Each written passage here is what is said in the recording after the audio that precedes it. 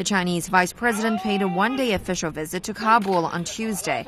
During the meeting with the Afghan president, Li Yuanchao conveyed a message from Chinese President Xi Jinping to Ghani. In a message, President Xi offered sincere sympathies to the quake affected Afghan people, saying China is sending relief goods and cash to Afghanistan.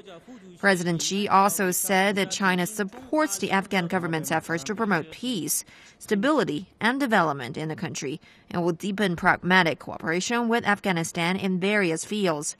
Vice President Li also said China stands ready to implement bilateral collaboration projects in trade investment and infrastructure and to boost cooperation in fighting terrorism and drugs.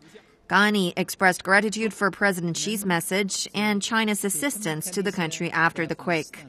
He said Afghanistan hopes to further deepen cooperation with China so as to promote its socio-economic development.